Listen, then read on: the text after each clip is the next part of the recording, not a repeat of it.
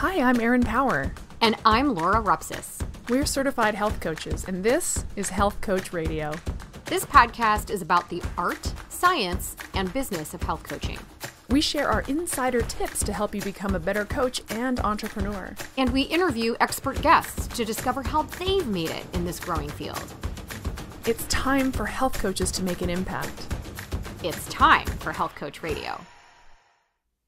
On today's show, we welcome back Jonathan Posey from the Council for Holistic Health Educators, an organization that every health coach ought to be aware of. Jonathan advocates for us, particularly in states where the legislation threatens our ability to help our clients achieve healthy behavior and lifestyle outcomes. Many health coaches we speak to are confused and overwhelmed as to what they can legally do in their state or region. Jonathan is the go to resource for this information. But before we dive into the show, I really want to take this moment to encourage you to fight for your right as a health coach. If you're feeling stymied by what feels like draconian scope of practice regulations where you live, stand up. Join the Council of Holistic Health Educators and lobby for your right to practice. We would love to have you screenshot your podcast player and tag us on Instagram at Health Coach Radio. And by the way, the show notes for this episode and all previous episodes of Health Coach Radio can be found at primalhealthcoach.com slash radio. Our show is proudly brought to you by Primal Health Coach Institute, now an accredited educational provider with the National Board of Health and Wellness Coaches. This means that our graduates can become eligible to sit for the NBHWC credentialing exam to become a board certified health and wellness coach. Check out primalhealthcoach.com slash level two to learn about our new advanced coaching course taught by me that will nudge you out of your comfort zone, launch you into coaching mastery, and qualify you to sit for the board certification exam. Laura will share a little bit more about what we teach and how at the end of today's episode.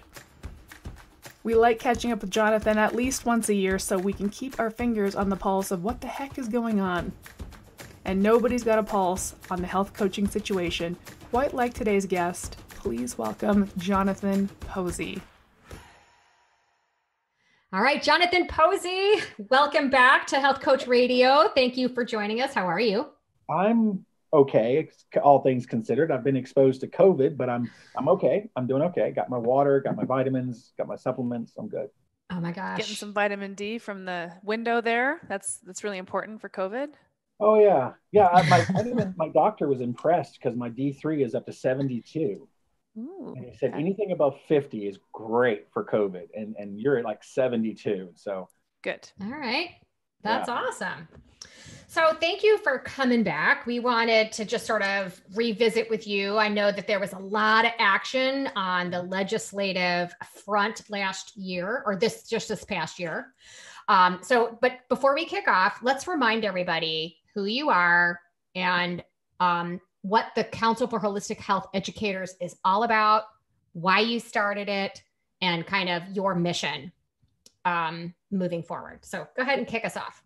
So the Council for Holistic Health Educators is a nonprofit, is the only nonprofit advocacy organization that is out there fighting on behalf of holistic health schools, practitioners, and our various stakeholders. I founded it in kind of late 2016. Uh, I was uh, marooned at a, a very poorly run nonprofit that was really making my le- my ethical and legal uh, antennas wiggle. And I just like, I have to get out of here before we all go to jail. And so I, I started thinking about what could I do? And at the time I was in Atlanta and there really wasn't a lot that you can do for government relations. Well, my girlfriend came to me one day, and she's a she was a nutritional therapy practitioner, and a very good one. And she said, "Honey, um, yeah, I can't practice here in Georgia." And I said, "Well, what do you mean you can't practice here in Georgia?" He says, "Well, uh, the law says that only someone with a license can provide any type of food, diet, or nutrition services, and the only person who can get that license is a dietitian." And I thought for a second, I was just like, my, my first gut instinct was, "That's really dumb." and I can understand on some level that that could be a problem, but you could just go down to the bookstore and, and probably find enough information to kill everyone. So, right. why do we need this state issued license? And so, just that idea that there was this area of healthcare that had become so and so ubiquitous in today's society, something that we are all following and tracking and can understand, it just seemed very anachronistic and asinine to continue on with this license. Uh, it really upset me that that people could not work, mm-hmm. they could not build a business, they could not follow their career, uh, and so I thought, well, we let's see what we can do about it. And the more I looked into it, the more I realized that at the time, and and uh, in 2016 going into 2017, there was no one fighting for our rights as the holistic health community. We were constantly depending on other communities, uh, mm-hmm. uh, other organizations to carry the water for us. And so I just thought, light bulb, we've got to create our own trade association. We've got to try to unite the different types of schools, the different modalities, the different practitioners, because uh, if we don't, we're just going to get divided and conquered.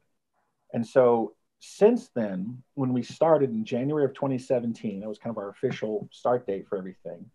There were 21 states in the District of Columbia that required a license. Today, there's only 16. Wow. And I'm hoping by the end of end of next year, there'll only be 14, and we're going to keep whittling them down until there's zero. And that's how, it. and that's where we, that's how we got today. Amazing. Well, thank you. Thank you for doing this work and for coming to our rescue. Um, so you mentioned so the holistic council um, advocates for schools modalities and practitioners. How, so, so, it's not just at the practitioner level not not yeah. just but i think that's pretty cool. So tell us how you work with schools. I mean this is a bit of a self-serving question because the school we work for is very we're very we just we love what you're doing so we're one of the investing schools. But how, how do you work with schools? So well schools it's funny. So schools um to be frank schools are the only ones that really have the money to put behind something like this. Yeah. Uh, a lot of practitioners are stretched pretty thin, mm-hmm. uh, especially those just coming out of the program. Uh, in their first five years, they're building their business, they're having to pay for insurance, business license. Um, there's a lot of things that make them really uncertain uh, about those first five years. And so when I first looked at it, I thought, oh gosh, well, we've got I don't know, 50,000 practitioners across America, 50,000 health coaches. Surely, if each person gives $100, this will be a gangbusters uh, organization. And it just didn't turn out to be that way. There was there was just, you know, folks in Colorado didn't see that they needed to support anyone in Florida because Colorado's mm-hmm. fine. Why care about Florida? Mm-hmm. And so I went to the schools, and, and Primal was one of our first, I think, who was like, "Yeah, this is fantastic because." We need someone who can look out for our graduates, look out for our students. And we're not just one of those schools saying, oh, yeah, there's so many job opportunities out there. You're going to have a blast and make a ton of money. It's that, yes, you're going to do great, but, and we're going to train you to be great, but this is how we're going to protect you going forward and protect your investment in our school and in our modality. Mm-hmm. Awesome. Yeah. the way I work with schools is, is it's, it's just it's interesting because the way I work with schools is sort of twofold. On the one hand, they provide the bulk of the funding that keeps the council going, keeps our work going. But on the other hand, what I also do is that from the very beginning, again, based on that, based on the lessons I learned from that nonprofit in Atlanta, you can't just say to someone, give me money and trust me. Right. Yeah. I hate that. I hate that. So what I decided to do early on was say, okay, what is what's value? What is the value that I can give back to the schools while they wait for me to change these yeah. laws? Because it can take up to a year. Mm-hmm. And for that thing I came up with is to provide the individualized support. So any alumni, no matter when they graduated, any student and any prospective student of a member school can call me or email me and I will do whatever I can to assuage their concerns, help answer their questions, go through the law with them uh, help develop a scope of practice if they want it. Yeah. They know I've made a good investment and I'm not going to wind up on the end graduating to have some lawyer I just right. paid $10,000 to say, yep, you got to have a license. Yeah. Yeah, we're yeah. grateful to that. And, and, and in fact, one of the first things you did for us was a series of webinars that explained scope of practice to health coaches because man, people get worried. people get really worried. Mm-hmm. Like, can I actually legally do this? Yeah, and, and it, it, you I'm not a lawyer. I'm not a lawyer, but I've spent the past 15 years of my life writing law. So I like to say I write law. I don't art, I don't defend them in court. And in writing the laws, uh, and by that I mean anyone can just look at the law. You don't need specialized training to read law. And, and so when you read it, and you start to think about okay it says i need a license but then there are all these loopholes right to fit into for example you can always educate recommend and inform about dietary supplements no matter where you're at. You can always sell dietary supplements no matter where you're at. You know you can always provide that general health and wellness information guidance education the stuff that everybody knows. Where it becomes a problem is when you're working one-on-one. And right. even then it's just we have to change the way we talk.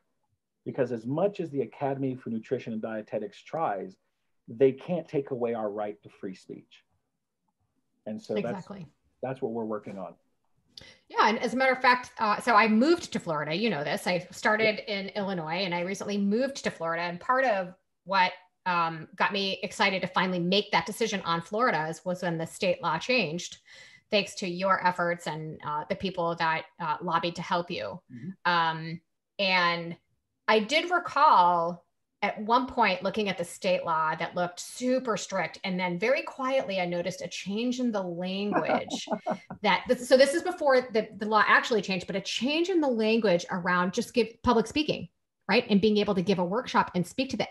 That's that is the sort of you can't take away my right to free speech i think nod that was originally made. But now we have a governor here in florida that wants to deregulate and um, you know, kudos to you and the team and everyone who supported you to jump on that, which makes yeah. so maybe now maybe this is a good time to transition into kind of I don't know, I guess tooting your horn a little bit and talking a little bit about some of the positive changes that you guys helped affect this year.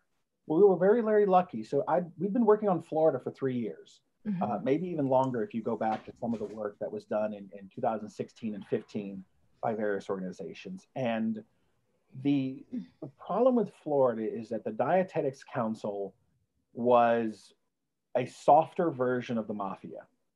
they would engage in undercover stings. They mm-hmm. would steal people's trash. They would try to get wiretaps. Uh, they would really go crazy to try to trap practitioners. They would ask loaded questions in public. They would call up and ask loaded questions and try to get you to slip up so that they could report you. And for a long time, the, the academy had a contest that you could win $500 by reporting an unlicensed practitioner. Wow. And, and, so Florida was just a really nasty state to play in.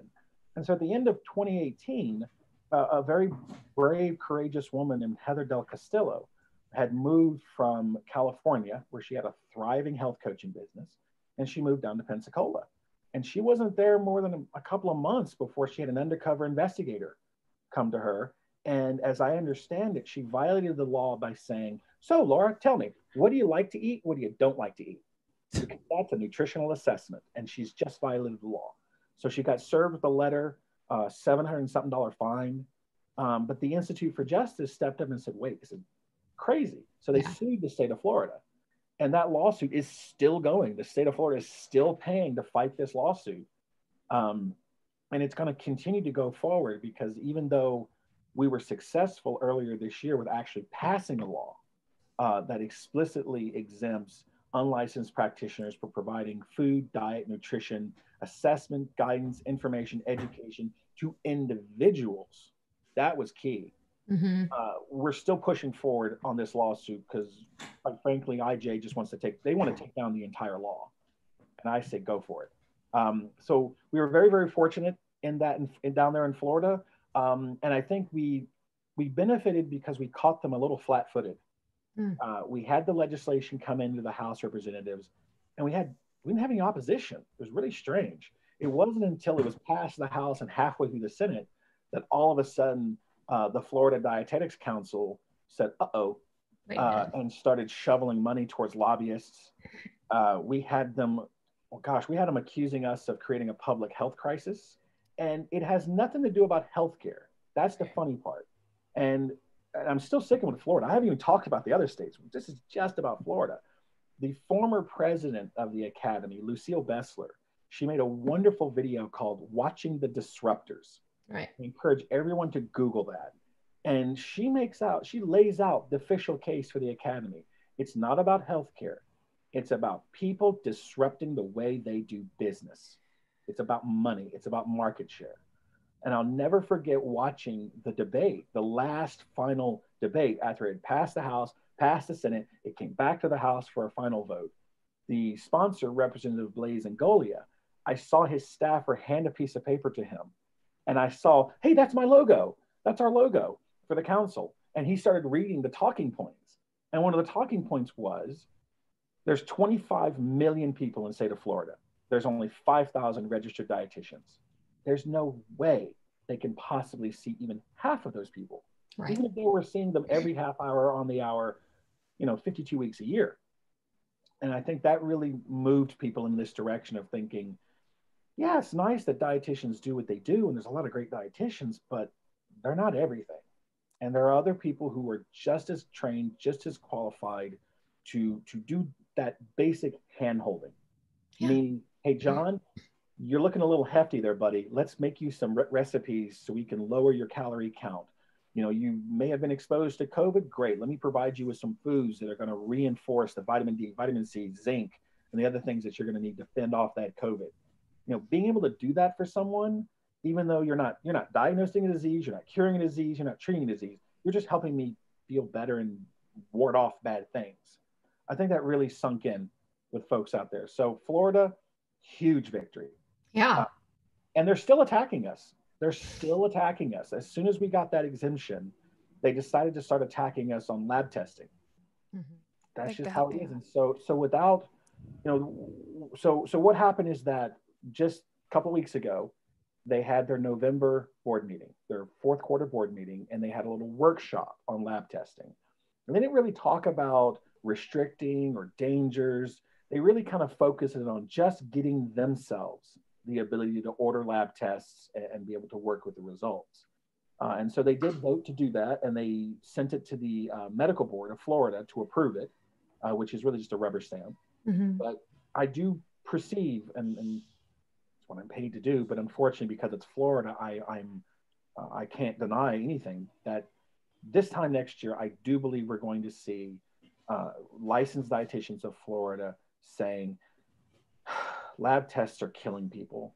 There are people out there who don't know what they're doing. They are ordering these lab tests. They're filling their clients with heads with all this information they don't know how to process, and people are dying. And they're filling them, they're shoveling them with, with dietary supplements from Kathmandu that they have no idea what's in them. It's just like, guys, come on. Yeah. Credulity. It's it's so frustrating. Um, so I mean, well, this right there, I guess it's it's something that you had said about how you know why would somebody who lives in Colorado that doesn't have these problems. Want to donate money to an organization like you to support somebody in Florida or some other state? And my answer to that would be because you never friggin' know what's going to happen in Colorado. All you need is a change in legislature. You just need a, a new governor or a new Senate that that um, like errs on the side of regulation to totally change the game for you. Not even that. Not even that. Why, So call and it is it is a dirty little secret of our industry that when you look at who donates to these kind of things who responds to action alerts who gets involved it is very much a we have a lot of folks who stick their head in the sand mm-hmm. say, oh that'll never happen in arizona well oregon oregon oh. 2017 came up with an emergency legislation to require to have a mandatory registry of all unlicensed health and wellness practitioners. And I thought, well, that no lists, yeah. mandatory lists have never worked well in history. We don't want one in Oregon. Well, that was 17. We defeated it very quickly. Well, it came back and it's back now. And legislation is coming in January. It's being drafted right now and it is coming in January, which will lay out a voluntary registry. Okay, it's a voluntary registry. And the way they define who qualifies is that basically, if you help someone feel better, you can be on the registry. Well, you can be on the registry. Can be. Well, no, it gets worse. We'll let you. It's like, yes, you can sign up for our voluntary registry because it protects consumers to know who these people are and where they are. Well, it's being pushed by this nutty organization called MACBO, which I don't even I don't even quite understand the the acronym, but it's a private nonprofit organization that to get on the registry, you have to pay MACBO a fee every year. And so when you think about who in the world is pushing a registry, because remember, they want it to be mandatory. They don't want it to be voluntary. Mm-hmm. They want a mandatory registry because with a mandatory registry, they can then say, okay, we have 10,000 practitioners on this mandatory registry. It's time we start enforcing some standards because that's good for the public health. So let's, right. Everyone should have at least a college degree. Right. Well, that's 30% of the people who now are forbidden to work because it's a mandatory registry. And if you can't register you don't have a college degree, forget it. Okay, you know, we need to make sure that people not only have a college degree, but that the the education you've received is in dietetics, nutrition, uh, uh, and, and diet. So if you got a business degree, sorry, I got a political science degree. I'm out. You know, if you've been practicing as a health coach for 25 years, sorry, you're out. Yeah. Little by little, it becomes a boa constrictor. Um, but it is so. This is the Mental Health and Addiction Certification Board of Oregon. And the way they make money is overseeing licensure and registry programs for the state of Oregon. That's how they make money. And so their mm-hmm. lobbyists are pushing hard to to open a new revenue stream. You know, and I, I get nervous about stuff like that too, because I, I, t- I shared this in the last time we had a conversation, but I was chased down by the Dietetics Council in where I live um, physically? Because they've done that too. Fortunately no they it was digital and i was very compliant so they didn't shake me down in person but um like they they were like I at first when I got the first email, I was like, oh, okay. They're just kind of fanning out. And but they had like a dedicated person on me and they said, you have three days to change the wording on your website. And I did, I did it. And they said, you missed a you missed a spot. You, you say it, you say the you know the wrong word here too. So I had to kind of go through and change things. So when I hear about lists like this, it's like, well, they're just making a list of people to go and chase after. Targets. Yeah. like justify their existence. Yeah. You know, if you look at so the state of Maine last year uh, enacted a safe harbor law, and the safe harbor law um, is a it's a weird it's a funky kind of law because if it's done right, it works great, and if it's done right, it says, Erin, so long as you do not diagnose, treat, or attempt to cure a medical condition, you don't use any type of protected titles, and you don't attempt to practice medicine, have at it. That's it. Well, the yeah. reason they were able to do that in Maine is because for like three years, a bunch of legislators had been trying to get rid of the dietetics board because they discovered they never met. oh my gosh. And I found out that the same thing in Georgia. The executive director for the dietetics board in Georgia uh, sat next to a colleague of mine at a conference in Savannah. And she just started complaining that I can't get anyone to show up for the meetings. I really want to retire and get away from this, but I can't find anyone to take my place. We never meet. And it's like, huh, well, maybe the legislature should hear about that so they can dissolve the board because why have it? Why spend yeah. money adding it? I, I mean, you know, this just, but it's just maddening. I want to get to the good news. I want to get back to like the yay, the good news. But, but the other thing that I also think is important to say, just for health coaches listening, and this is just my own opinion, but I want to know who else out there in listener land agrees. Like, I don't want to diagnose, treat, or prescribe. I have right. no interest in doing that. I didn't. Right.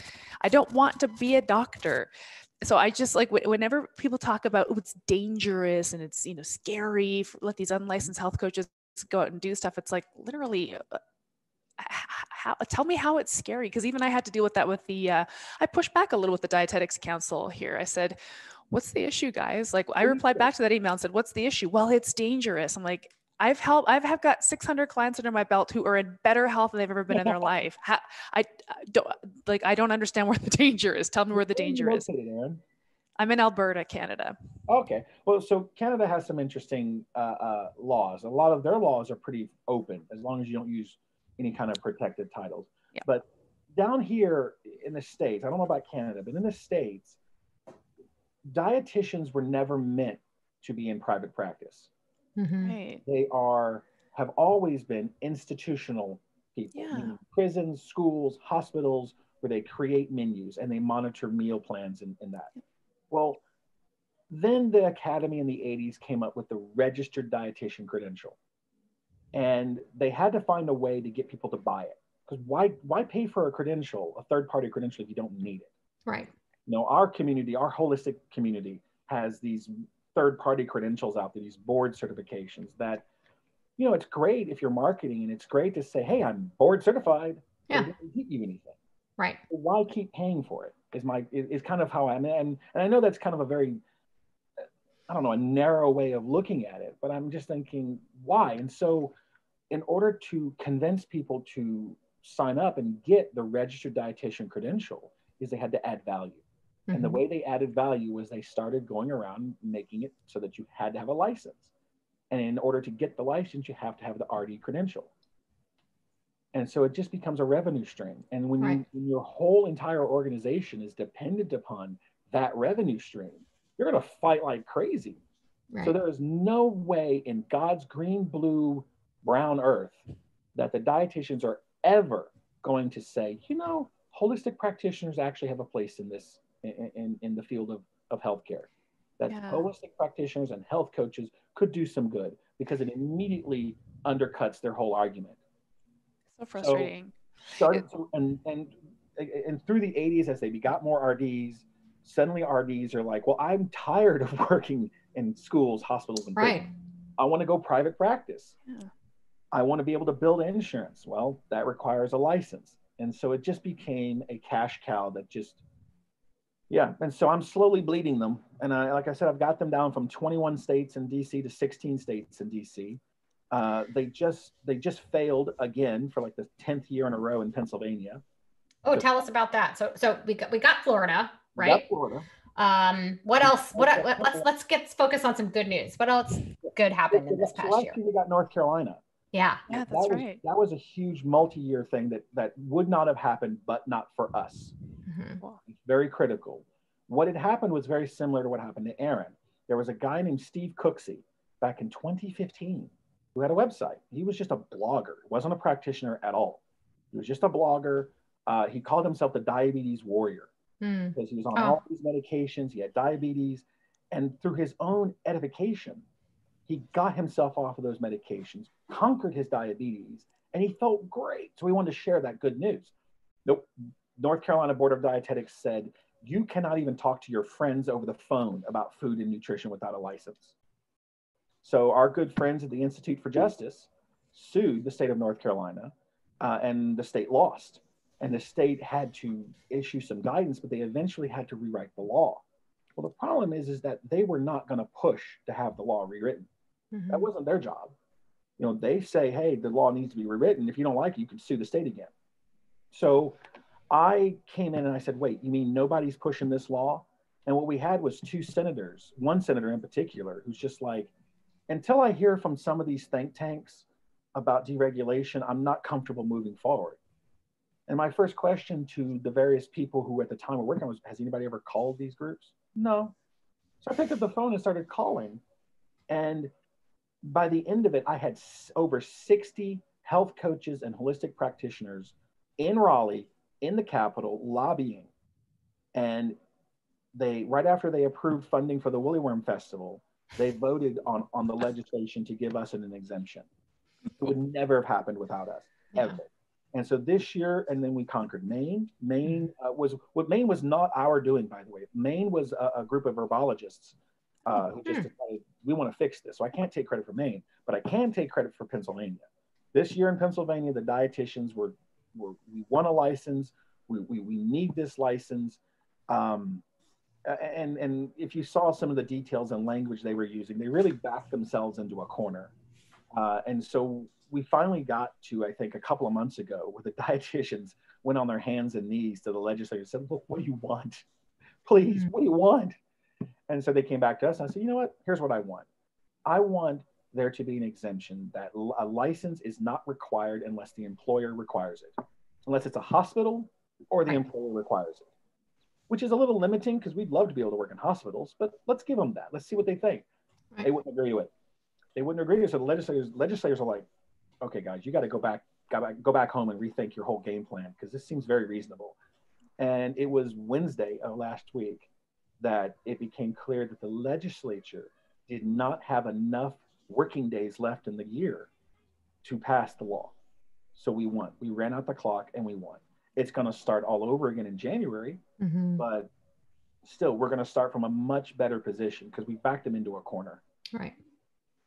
You know, I wonder, you know, as health coaching matures, if we're going to start to see more, um, and I'd love your opinion about this because to your point, like, unless it's a hospital, now, uh, you know, why would you need a license? Now, that being said, my, I mean, my mom spent over a month in a in a hospital, a couple of hospitals. She was moved around, and I get that the dietitians are there to build the meals that people receive. Which, by the way, the shit they fed my mom, I would never in a million years feed her. They're supposed to. They're supposed to craft meals based on a doctor's orders, right? For, for a medical patient who has a diagnosed medical condition or disease, and this is yeah. part of the treatment plan. Right. So, yeah. so they do that, and I, I could see that, and and I could see why. Yeah the need for a license, even though I may disagree with the end like plan because mm-hmm. they gave basically gave my mom boost, low fat pudding, uh, crappy like baked mostaccioli in a in a roll. You know, whatever.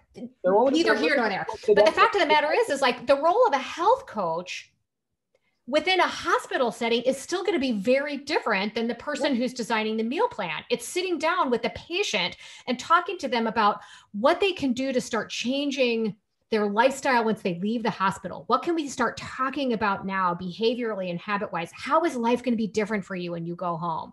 Yeah. Let's brainstorm and talk about what you can, what's the one thing you're going to be doing differently as a result of this diagnosis that can mm-hmm. keep you out of the hospital next time. None of the dietitians do anything like that. They just sort of hand them a guide. My mom got like a diverticulitis guide of like what food she could eat, and that was kind of it. You know what Kelly did for me?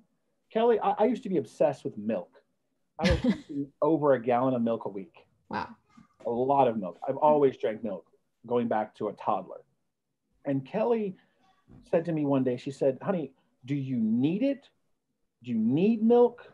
Do you want milk? Or do you just, you just have to have milk? Why are you drinking milk? Because it's sugar.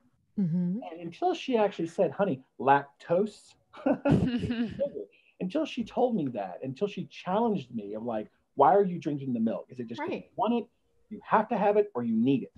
Yeah. And I was like, well, I don't need it. I don't have to have it.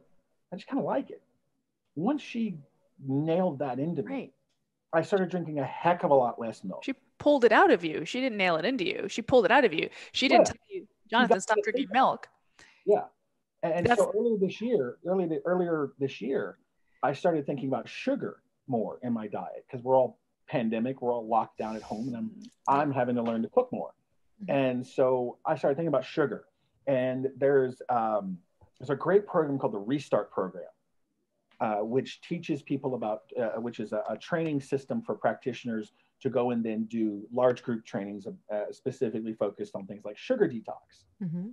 And oh my God, a sugar detox is the worst. But after four or five months of reducing my sugar intake and and just ugh, taking in sugar-free drinks and everything, I'm now down to drinking something like this, which is cherry limeade naturally flavored sparkling water with zero sugar. Nice. Well done. Anybody who knows me personally, sugar free. I even it even got so crazy that I I stopped drinking Coca Cola. I'm from Georgia after all, and that's just I was weaned on it. But I started drinking Diet Coke. Yep. I was like, why am I drinking Diet Coke? I can't believe this actually tastes good. Well, it tastes good because I hadn't been consuming large, massive amounts of sugar. Right for so long. It's so practicing. yeah, and it's just it's that little bit of hand holding where a dietitian can tell me, Jonathan, you need to take in less sugar. Here's some meal plans. But it was a holistic practitioner who was like, hey, let's think about this in real world terms. Yeah. And let's figure out some alternative foods that you can eat. Let's come up with some recipes that reduce the sugar. Exactly. Let's talk about what are you eating and why do you eat it? Yeah. Um, and it's just it's just you know you, you get into a relationship and you gain weight i lost 50 pounds dating her uh, an incredible practitioner uh, in that regards i think I, I think that part of the disconnect is that well maybe the part of the disconnect, disconnect is that dietitians don't know what health coaching is right right like i yeah. I don't want to tell my clients what to eat. I want to support them in making their own food decisions mm-hmm. and from a place of information and education, right? I, I don't want to give them a meal plan. I don't want to give them a number of grams of sugar to reach for. I want, just like your girlfriend did, tease this intrinsic motivation out of the client and then give them some, structural environmental support so that they can implement yes empowerment you know dietitians bless their heart they desperately want to be seen as medical doctors yeah, yeah. they want to stand on par with medical doctors mm-hmm. and they want to be Go a, like in ohio ohio is the heads hands down the worst state in the country to practice it because not only is it is a license required but they are vicious in going after people. And if you you can be punished by up to a year in prison and what? a massive fine for talking about for just telling someone to eat less sugar and more vegetables, you've committed a crime. And it's just like, why? You know, they I remember talking to a legislator's a legislator's staff in Ohio, and she has Crohn's disease. And she's like, wait a second, wait a second. Is this why my doctor keeps trying to refer me to a dietitian? I was like, yes, because under the law of Ohio, it's illegal for him to talk to you about food and nutrition. Oh. Just before we talked to you, Jonathan, we spoke to a registered dietitian today. It's just kind of how the podcast schedule un- unfolded today, this week. but, you know, and she was, and so she she's a dietitian that also became a health coach. She's kind of mm-hmm. doing both things, and she had a really interesting story. But what she was saying is like, dietitians are great for somebody in like late stage kidney disease or managing yeah. through disease states with where you are kind of like quasi doctor-ish you're, you're definitely part of the disease management they are fantastic yeah yeah and we in that interview we talked about the illness wellness continuum so i could bring it up again but it's like please, if, if, if you're ill, if you're di- if have a diagnosed disease state, I want you to work with your licensed medical practitioners to get you to some semblance of health. I have a client right now who's got Crohn's disease, and she worked with her doctor and medications and dietitians to get her to a place where she could manage her symptoms. Mm-hmm. And now she's working with me to get her to like wellness, right? With where she has a goal of getting off this medication, it's like, great, that's out of my wheelhouse. You keep your doctor close on that, but we're just going to work on supporting your gut from here on out, you know, you made great strides in mm-hmm. putting your Crohn's into remission. I'm not going to touch your Crohn's. I'm just going to help support your gut, right? It, eh, like that's the that's the integrative model, and it can be a really beautiful thing for somebody with the, with the who has a diagnosed disease state and then moves to health, mm-hmm. and then mm-hmm. wants to go from health to like awesome wellness. That's where we come in.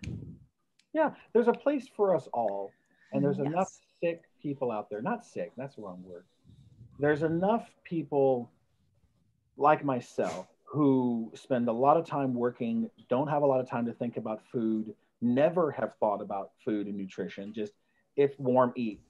And right.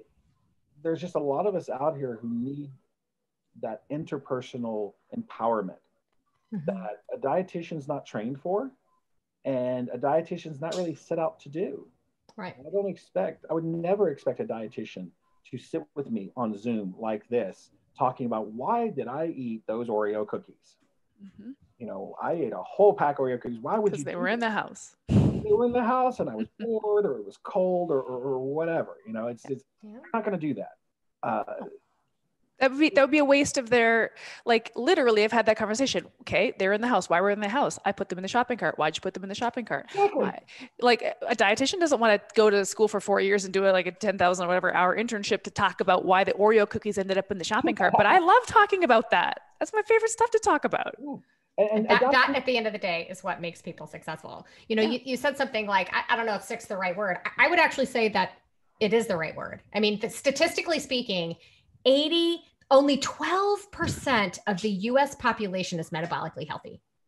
12% could actually say they're metabolically healthy, which means 88%, do the math, is metabolically unwell. They may be subclinical. They might not have been outright diagnosed with type 2 diabetes, yeah. but something metabolically is funky. They, you know, mm-hmm. and so I would say from a health coach perspective, if we can catch some of those people that are quote unquote at risk. Hmm. before they ever become quote unquote actually sick and diagnosed and start right. talking, having these behavioral conversations about choices. To Erin's point, why were the Oreos in the cart? Well, I have kids. Like that explains everything. okay. So are the kid are the Oreos any what is it about Oreos and kids that makes having the Oreos in the cart like a thing? Yeah. Well, my kids like Oreos. So you have to just unpack this. What's that? It on a list? You know, right. and, and if it was it on a list, and why did you put it on the list? Well, it was exactly. just another food item I thought I could should oh, get. Oh, yeah. You know, the health coaches will make the list for you. Yeah. Um, well, we don't let our clients get away with with that. Like we just yeah. we get into the granulars of decision making and pattern right. interruption. You know, and, and and I think actually to what you were saying, Laura, just a second ago, like one of, part of my origin story is that I was diagnosed pre-diabetic, which is mm-hmm. subclinically diabetic. I'm not actually diabetic. It's just you know mm-hmm. you're kind of getting there. So so I guess my I guess my option was to wait until that became diabetes and then get hooked up with a dietitian who put me on some diabetes eating plan. But instead, I went to the bookstore and learned about diabetes and fixed myself. Uh, and that nobody nobody handcuffed me and arrested me for fixing my own diabetes. That was actually probably the desired outcome. Just wait. We had yeah. so for year for a couple of years we were fighting the American Association of Diabetes Educators. And hmm. they have been trying to pass a law that says you have to have a license to talk about diabetes. And they've succeeded in Kentucky. So in Kentucky, you have to have a law to talk about diabetes management. Uh, but they tried for many years in Florida to require a license to talk about diabetes, talk about diabetes management. Um, where there's money to be made and there's a trade association behind it, it's only a matter of time before you know you have they start forcing someone to pay. And you know, if I if I could touch on one subject, mm-hmm. there's a very similar parallel we have here.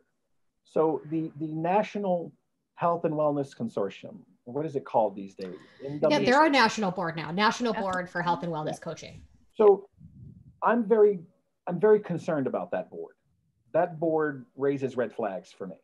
Uh, it's not that I'm against a board certification for health coaches, and it's not that I'm against organizations of health coaches, but they were purchased by the National Board of Medical Examiners, which is an, which is an allopathic group with about 200 million dollars a, a year in budget.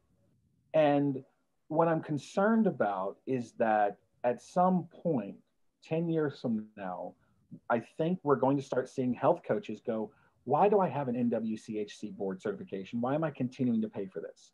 What good is it doing me? I've got, you know, 150 clients. I'm doing great.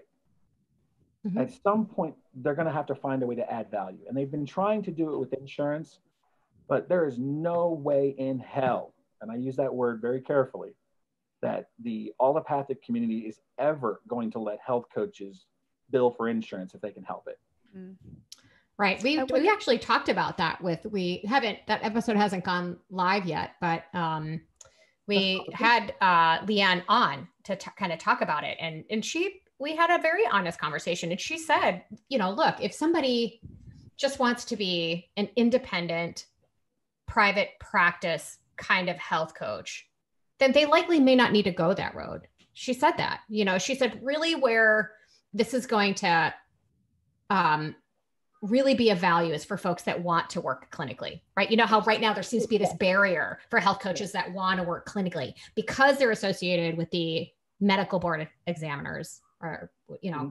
that this will create a pathway for health coaches that want to work clinically yeah. so that those that cannot afford to pay for their own health coaching care can go to a clinical practitioner who can bill and they can kind of get some health coaching and she did have one instance she said you know if you're an independent coach but you want to work with large corporations really dig into corporate wellness you may see some of these larger employers mm-hmm. look for something like that I, I'm I don't mean to be negative. Let me be clear. I, I hear you. Yeah. About them. I think what they're doing is good. They're bringing order and they're bringing standards to the community. But they they they've got me over here kind of giving them the old hairy eyeball thinking where are you going with this well let's be watchful and all the more reason even for brand new health coaches that even if it's just 10 bucks a month that you're setting aside to contribute to something like that right there 10 bucks a month would be $120 a year right? From every practitioner to help make sure that there's an organization there that has our best interest at heart. And we can keep all these other organizations like NBHWC, which Erin and I, I don't know about, I shouldn't speak for Erin, but I now I know them well enough that I feel what they're doing is coming from a really great place from it, from, from good intentions. Um, so, so I, I definitely get that. But at the same time, I agree like that, like anything else, there needs to be checks and balances on like what kind of power comes from there and um, making sure that the practitioners are empowered and that the end consumer is protected and have freedom of choice. Insurance is a big deal mm-hmm. for a lot of people who would love to bill for insurance. Here's the short and skinny on insurance you can't.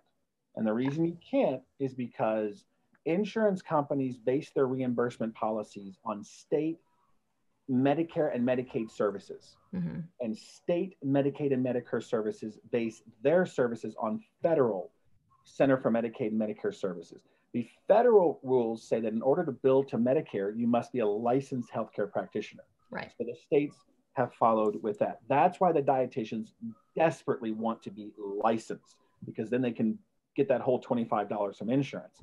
And in some states, it's actually been okay.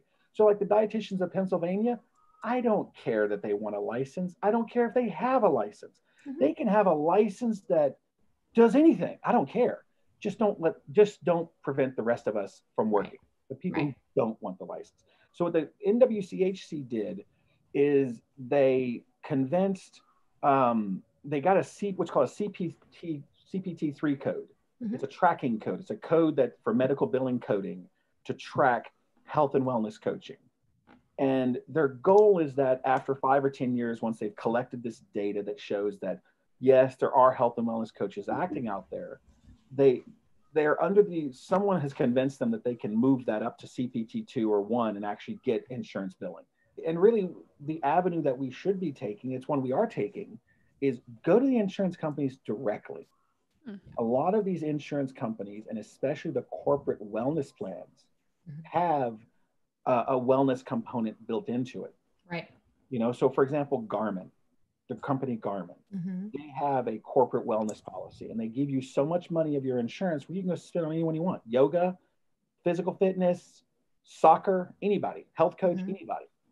That is really where it's going because the insurance companies are, are very interested in wellness and reducing the the instances of billable yeah care. Right, like the health so, savings account model where exactly. you can use it. So there's legislation right now in the federal government but it's that there is an HSA bill that would say, yeah, you can use part of your HSA savings for, for health and wellness coaching uh, services. Mm-hmm. So I think that's the future is to go directly yeah. to Blue Cross Blue Shield mm-hmm. and, and, work with them directly. Don't wait for the government to do it. Do you think you think that individual health coaches could do that? Yeah, or... absolutely. Oh, okay. Call it, I mean, what's stopping you? Call up the insurance company, especially especially if the insurance is paid for by the by the work. Right.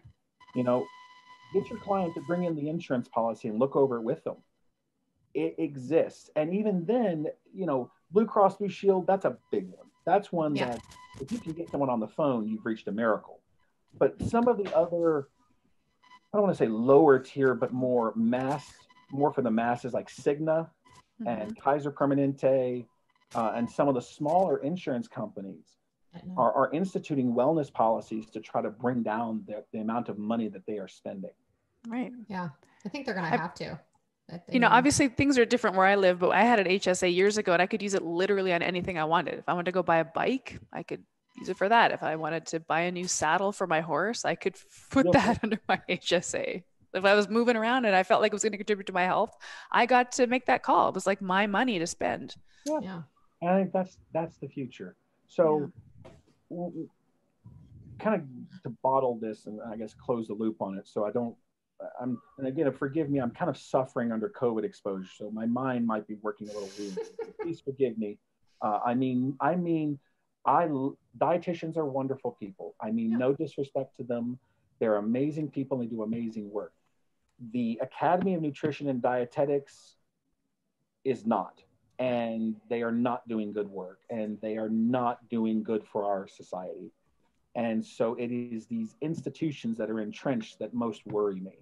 So, but again, I'm, I'm paid not to, I'm, I'm paid to be pessimistic. So that's, that's your role. That's what you're here for. And it's, it's what, uh, the reason why schools like ours help pay to support you. And it's why I think anyone that goes into health coaching mm. on a personal level should consider this part of the cost of doing business because you're not going to have the time. Most of us don't have your yeah. knowledge, your experience, your connections but we've got five bucks a month or 10 bucks a month, right? Instead of going to Starbucks one day, it's, it's, you know, throw some money to the Holistic Council because they're here to protect your ability to practice. I heard there was an article that came out recently, and I, I, I think it was in the Atlantic, and it was something like, "Don't ask nonprofits to explain what they're doing with your money."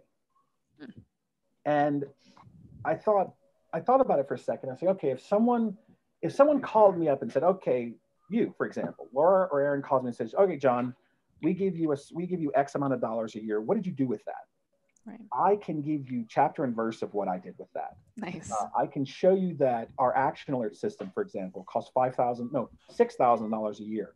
That action alert system allows us to send out these blast emails and allow you to reach your legislator. That is a mm-hmm. fixed cost that I have to pay each year. I can show you that you can look at our 990. I don't make much money. You know, I'm, and I'm fine with that because for me, this is a more of a passionate thing. But I can show you where all the dollars and cents are going. And I think any nonprofit should be able to do that. And they should be able to go, yeah, 10 bucks a month. I'm going to tell you exactly what I'm going to do with that 10 bucks a month. I'm going to keep the lights on. I'm going to keep it in my fund in case I have to get in the car and drive to Harrisburg. Because I did. I've had to go to Harrisburg three times this year. Mm-hmm. Last year, I had to go to Florida four times. Uh, it's not cheap. To, I had to go, gosh, I had to go to North Dakota, Missouri, Florida. Um, yeah, yeah. Wow. Yeah. Missouri is a fun place. Don't ever go to don't don't go to Jefferson City, Missouri. You won't find be a. can I tell a story real quick? Sure. Real quick. So Missouri, there is a group of ladies in Missouri who are doing a fantastic job uh, uh, in, in, in keeping legislation alive and pushing the legislators to change the law there. They're doing a great job. The first time I landed in Jefferson City was when I, my legislation was introduced and I developed a fever I had like a fever of 102. I was oh, feeling oh absolutely miserable. For some reason, I could not find an urgent care to save my life. I had all these holistic practitioners, and when they found out I was sick, they they started like, okay, we have the here. Here's the supplement you need to take. vitamin D. Here's some vitamin C. Do you need some food? You're well taken care of. Yeah. I'm well taken care of. This community has been far too kind to me in, in taking care of me. Well, so tell us a little bit. So something new that also came about this year is um, that you started um, a foundation, yes. right? A charitable foundation. So tell us a little bit about that foundation and how it um, is associated with the council. Yeah. So quite frankly, the so I, I started the Foundation for Holistic Health Educators, and it is an organization that is intended to educate the masses about what is holistic health, how does holistic health work, who are the practitioners? What are their education and training? What are the schools that are out there? How many practitioners are out there? Answering these research questions. Mm-hmm. And the problem I had was that I always intended to do this for the council side, but the council is a C4. Money donated to the C4 is not tax deductible. Mm. And so that really limits the, the amount of money we can put behind these big research projects. I need to hire I don't have time. I'm hmm. lobbying. I'm constantly lobbying and doing stuff. So I need to hire someone whose job is to research how many practitioners are there in America? How many health coaches are there really? So yeah. when I go to a state like Florida and I say to them, there are 5,000 holistic practitioners in this state, I have evidence to back it up. You know, so I created the, the foundation because it's a C3 tax deductible nonprofit. And that means that when you donate to it, you can take it off your taxes. But it also means that that money can only be used for educational purposes, can't be used for lobbying. That's kind of how the law works. Mm-hmm. So I started the foundation with a lot of ideas in mind, but really it's a fundraising vehicle. Mm-hmm. I'll be quite frank. I'm, I'm, you know me, Laura, I'm not someone who ever beats around the bush. I like to be very direct with this stuff. It's a fundraising mechanism. It is the exact same thing as the American Cancer Foundation, mm. Greenpeace Foundation, um, Scoliosis Foundation. It is intended to raise money so we can put money behind the complex education. Okay. And I, I, I would prefer that if you're interested in donating to the council, to our work, donate to the foundation. Mm. Because starting next year, I want to take $5,000 and hire a researcher to say, okay, who are the holistic health schools in America? Who are mm-hmm. they? Everybody from the letter A all the way down to primal. what is their program? What is a comparison chart of their program? What are they teaching? What is their boards? All of that stuff. Yeah. Because that will be useful not only to people interested in entering the profession, mm-hmm. but when I go to a legislator and I say, we do not diagnose, treat, or cure diseases. We right. teach our practitioners this, this, and this. I can actually right. show that to them. Yeah. And and so I it just became a problem of I didn't have the time to do it. I need to hire someone to do it. But I I hate asking our community for money. Mm-hmm. I know that sounds terrible, leading a nonprofit, but I hate asking our practitioners to donate because they often don't have it. Right. You know, and they're already spending enough money on a business license and additional trainings and CEUs and office space or God knows what else. Mm-hmm. So, and, and, there's only so many the schools out there. There's right. only so much the schools can give. So we have this foundation, and my goal is that starting next year, ooh, this is a good opportunity. We're going to have a contest. The foundation needs a logo. Oh. So ah. we're going to have a contest where we're going to give a small grant to a holistic practitioner to come up with a logo. It could be whatever you want, anything. We're looking for a logo. You know, there's an opportunity to showcase a practitioner who's going to create the logo for an organization, and we can then write a blog post about her or him or her. Excuse me. There, mm-hmm. we do have some men. Write a blog post about them to showcase, and then that's something I can then use in my lobby. Yeah. You know, I want to hire someone to do um, an economic analysis of what is the income potential. That's a question I get all the time. All the time. And all what do you what do you show them? How do you show them? You don't. So when I was I did some rough math in New Jersey, right? New Jersey is a state that up until next year has no law restricting anybody's ability to practice. And they still won't because I made them sell the farm uh, and and our exemption is like this long, and, and it's basically like, screw you guys, we're fine, we don't need you. Mm-hmm. Uh, we're going to keep doing what we're doing. But in the state of New Jersey, I started doing kind of back in the envelope numbers. And I said, all right, we've got maybe 4,000 people, four or 5,000 practitioners. If we've got four or 5,000 practitioners and each of them is earning, pick a point, 45,000 a year, pick a random point, that's a significant amount of tax revenue that the state is endangering mm-hmm. by putting these people out of business. I've got, I know I have at least 5,000 practitioners in Ohio that desperately want to work, but they can't. That's 5,000 people not in the workforce, 5,000 people not working up to their education and training, 5,000 people not contributing income tax. Right, right. Oh, good point. So being able to do that research and hire statisticians, researchers, to do that work um, is invaluable because it yeah. really helps me on the lobbying side. So if you're interested in donating and you're interested in supporting, I really need your support, especially this year. It's been very hard with the pandemic. Mm-hmm. Uh, www.fhhe.org, Foundation for Holistic Health Educators. It's a C3, it's tax deductible. Um, I give you a good point. Chris Kresser. Do you know Chris? Yeah. Oh, yeah. Chris Kresser. So Chris Kresser is a member of the council, but his practice has changed a little bit. Where he his schooling has changed a little bit. Where he's working predominantly with licensed healthcare practitioners now. So he doesn't really need the support that the council provides, but he still wants to support us. So he's giving to the foundation. Okay. And I'm like, thank you, Chris. I was like, thank you very much, Chris. Well, uh, I as a as a holistic health practitioner, I like um I, like I don't I like donating to uh, causes that are going to help me. I like donating to organizations or not donating to them or becoming members of or whatever. Like. I like spending my dollars that way, and it doesn't have to be a big expenditure. Like I get mm-hmm. it. A lot of people are twenty five dollars. I got people who give me five bucks a month. Yeah, and I am extraordinarily happy. That adds up. Yeah, no doubt. Our website, you know, having a website, I'd love to redesign our website someday. Mm-hmm. Um, and there's just there's a lot of things that the little donations yeah. really help. Um, uh, let's see, I had, I'll tell you a great example. In 2017, it was late 2017, I had no money in the bank. I was flat broke. And I was sitting in front of a cafe and I thought I was going to get a bagel because that's all I could afford. And then I suddenly got a donation for $25. And I was the happiest man on earth because I had lunch that day. So really, it does help. Yeah. It helps a lot. Yeah, mm-hmm. absolutely. Getting on Amtrak to go up to go up to New Jersey has 100, 100 150 bucks a pop.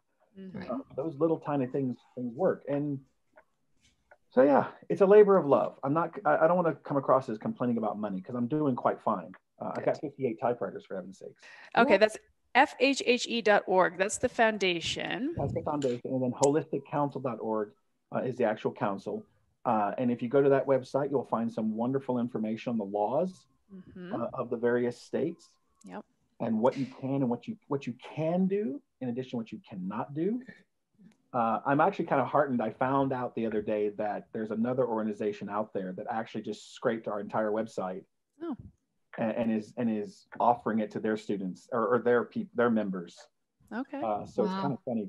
I guess imitation is the best form of flattery. That's right. Mm-hmm. Well, actually, we uh, we have a lesson in our course that that encourages students to go to your website and understand the legislation where they live.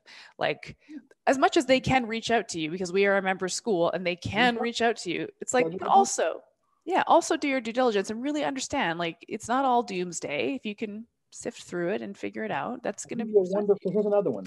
There's a there's a website. There's a company called Calend Calendly. Yeah. Calendly. So our Calendly account is like what ten bucks a month mm-hmm. in order. But what that lets me do is is that 10 bucks a month allows people to just schedule a call exactly. with me.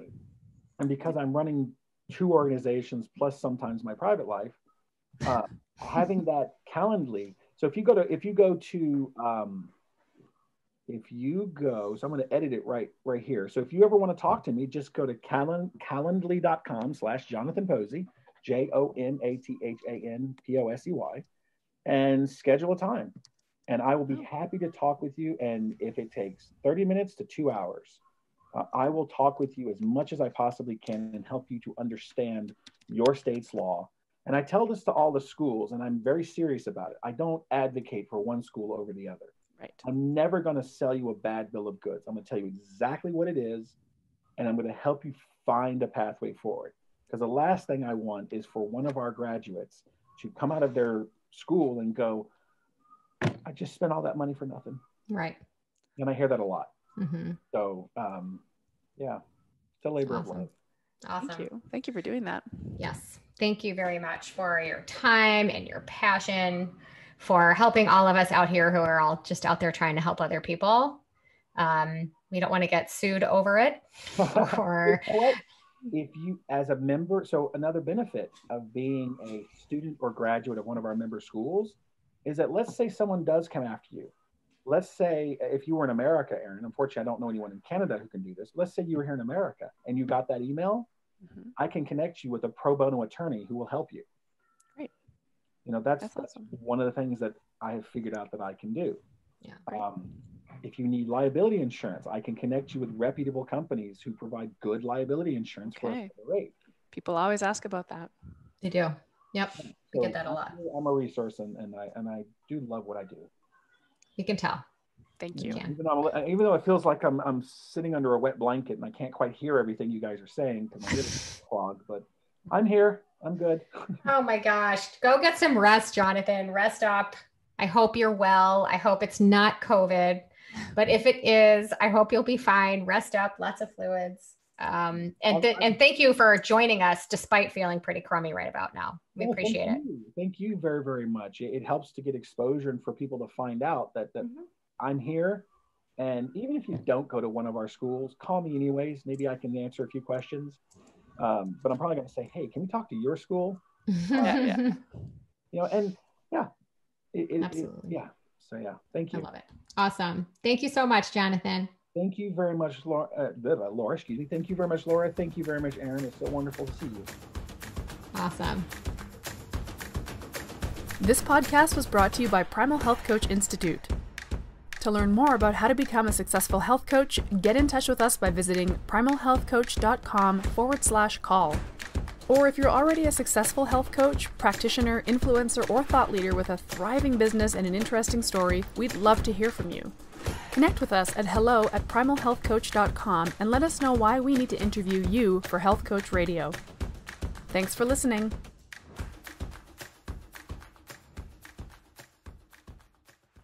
Well, if you've been listening at Health Coach Radio, you'll know that we're all about raising the voices of practicing health, fitness, and nutrition coaches, but most importantly, helping to further legitimize this exploding industry. Erin and I have disclosed often that we're on the faculty of the Primal Health Coach Institute, founded by none other than the health and wellness legend Mark Sisson. And we've interviewed dozens of guests from just about every different health coaching program you can think of and who practice in just about any conceivable way you can think of.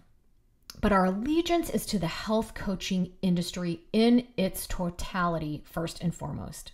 It's our desire to continuously and unapologetically lift and promote this industry that nudged us to create this podcast for you in the first place. It's this same yearning that encouraged us to take the educational offering at our health coaching school to the next level we are so proud to offer the Primal Health Coach Level 2 certification course, which, when combined with our primary course, the Primal Health Coach certification course, not only satisfies the educational requirements to sit for the board exam, but is specifically designed to teach advanced coaching mastery. You will work closely with a small class of peers through this 12 week, very intensive live online classroom experience to learn how to execute a coaching relationship that is truly transformational. You'll learn and practice how to ask powerful questions, what it means to hold space for your clients, but most importantly, how to actually do it. You'll learn about the craft of motivational interviewing and the nuances of habit change, goal setting, and accountability, and how to nurture your client's own inner knowing, their intuition, and their own self efficacy so that they will graduate from your care a truly transformed person. You want a big, successful, powerful coaching practice. And maybe you're devouring our episodes looking for the silver bullet that's going to launch your business into the upper echelons. We've said it a million times and we'll say it again. Your coaching skills are what will make or break you and set you apart for success in this field. So if you're looking to level up your coaching skills, and maybe dial up your credential and become a board eligible health coach, look no further. You can learn more about PHCI's level two program at primalhealthcoach.com forward slash level two.